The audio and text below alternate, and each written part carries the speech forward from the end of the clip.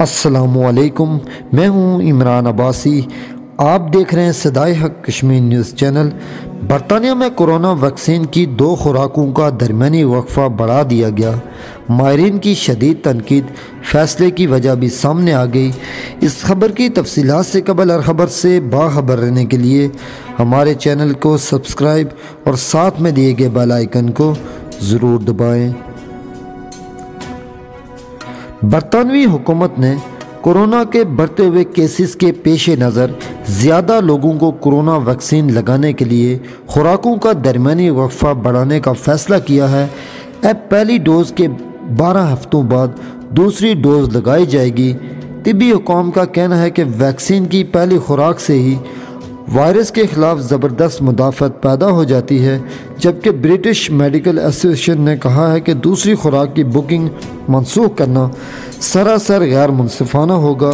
तफसीत के मुताबिक बरतानिया में कोरोना वायरस के फैलाव में नुमाया तेज़ी आने के बाद हुकूमत ने वैक्सीन लगाने के दरमियान वक्फा के हवाले से हमत अमली में तब्दीली की है, जिसके तहत अब दस्तियाब दोनों वैक्सीन की पहली और दूसरी खुराक में बारह हफ्तों का वक्फा दिया जाएगा। इससे कबल फाइज़र बायोटेक वैक्सीन की दूसरी खुराक को तीन हफ्तों के बाद देने का ऐलान किया गया था। ब्रिटिश मेडिकल एसोसिएशन ने इस फैसले पर तनकीद करते हुए कहा कि दूसरी खुराक के लिए तयशुदा बुकिंग को मनसूख करना सरासर गैर मुनसिफाना होगा, जिससे अमले का बहुत वक्त ज़ाया होगा। जबकि बरतानिया के चारों चीफ मेडिकल ऑफिसर ने कहा है कि ज़्यादा से ज़्यादा लोगों को वैक्सीन लगाना ज़्यादा अहम है। फाइज़र बायोटेक वैक्सीन को सबसे पहले बरतानिया ने मंजूर किया था और अब तक नौ लाख चवालीस हज़ार पाँच सौ उनतालीस अफराद को लगाया जा चुका है। आठ दिसंबर को वैक्सीन की पहली खुराक मार्गरेट कैनन को दी गई थी, उसे दूसरी खुराक भी दे दी गई है। फाइजर कंपनी का कहना है कि इस वैक्सीन की अफादियत का तजिया इस वक्त किया गया, जब उसे 21 दिन के वक्फा के बाद दिया गया। तमाम chief medical officer England, Chris T का कहना है कि वैक्सीन की पहली खुराक से ही वायरस के खिलाफ ज़बरदस्त मुदाफ़त पैदा हो जाती है। उन्होंने कहा कि वैक्सीन की दूसरी खुराक तहफ़ के दौरानिए के लिए अहम साबित होगी और ख़ुराकों के दरमियान मुनासिब वक्फे से वैक्सीन की अफादियत में मज़ीद इजाफ़ा हो सकता है। मुख्तर मुद्दत के दौरान दूसरी खुराक देने से वैक्सीन की अफादियत में मामूली इजाफे का इम्कान है। तमाम पहली खुराक के बाद ही बड़ी हद तक वायरस के ख़िलाफ़ तहफ़ मिल जाता है। वाजह रहे कि बरतानिया में वायरस की नई किस्म दरियाफ्त होने के बाद हर गुजरे दिन के साथ वायरस से ज़्यादा मुतासर अफराद की तादाद में इजाफा हो रहा है।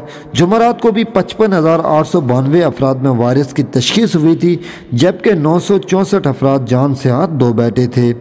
न्यू ईयर के मौका पर लंदन में होने वाले फायर वर्कस के ज़रिए भी एन एच एस के वर्कर की कुर्बानियों को खराज तहसीन पेश किया गया। लंदन की आर्ट कौंसिलों के लीडर्स ने हुकूमत से प्राइमरी स्कूलों को खोलने के फैसले पर नज़रसानी करने का मुतालबा किया है, क्योंकि उनके इलाकों में इन्फेक्शन की शरह बहुत बुलंद है। ताम वज्रा का कहना था कि स्कूलों का खोलना हुकूमत की तरजीह है। गुजशत हफ़्ता बुध को मकामी सतह पर तैयार होने वाली ऑक्सफोर्ड आस्ट्रा ने पेनका वैक्सीन की दस्तियाबी के बावजूद रेगोलेटर्स का कहना है कि डॉक्टर्स को दूसरी खुराक देने के लिए ज़्यादा इंतज़ार करना पड़ेगा। नई हमत अमली का फ़ायदा ये है कि वैक्सीन की पहली खुराक ज़्यादा लोगों को दी जा सकेगी। माहरीन बाशमूल joint committee of vaccination and immunisation का कहना है कि दोनों में से जो वैक्सीन भी पहले दस्तियाब हो, ज़्यादा ज़रूरतमंद अफराद को लगाई जाए। मुल्क के चारों मेडिकल ऑफिसर ने कहा कि नई हमत अमली के तहत आइंदा तीन से चार माह में लाखों अफराद को वैक्सीन की पहली खुराक दी जा सकेगी। उन्होंने कहा कि उन्हें इस बात का एहसास है कि दूसरी खुराक के लिए दोबारा वक्त तय करना मुश्किल होगा। इसके अलावा वैक्सीन की दूसरी खुराक के मुंतज़ अफराद को इससे कुछ परेशानी भी होगी। उन्होंने कहा कि अगर वैक्सीन एक हज़ार अफराद को दी जा चुकी है तो बजाय उन्हें दूसरी खुराक देने से ज़्यादा लोग महफूज होंगे।